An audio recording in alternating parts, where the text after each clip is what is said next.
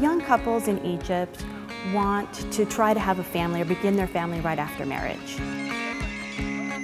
And so within a very short amount of time, women and men are experiencing their first pregnancy, they're experiencing their first birth, and they're raising their baby.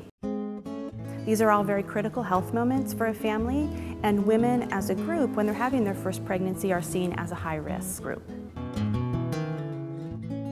You see women giving birth outside of a medical facility. You see malnutrition, you see underweight babies. And so the Newlywed Initiative looks to give young families, young couples, the information they need to get off to a healthy start.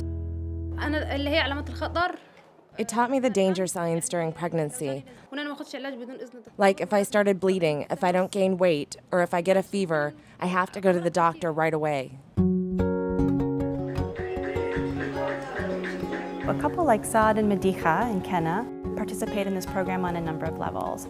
They have um, a community health worker come and visit them and bring them information about um, the community health program and also invite them to participate in community activities.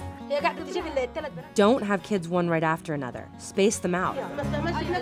We've made progress. In the past, our mothers used to have kids by the dozens, and that's why this country has so much poverty.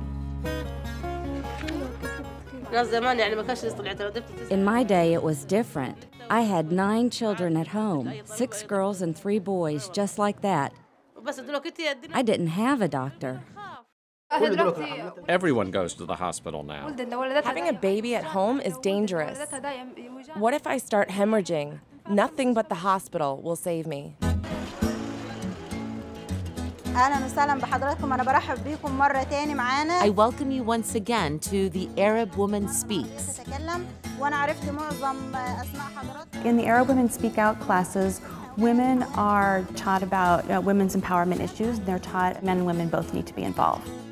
and they both have an important role.